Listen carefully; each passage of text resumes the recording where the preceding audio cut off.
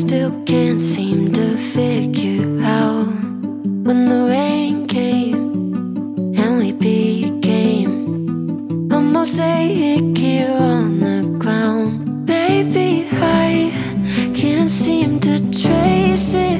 We went from weightless to dragging our feet on the floor, lost in translation. I keep on chasing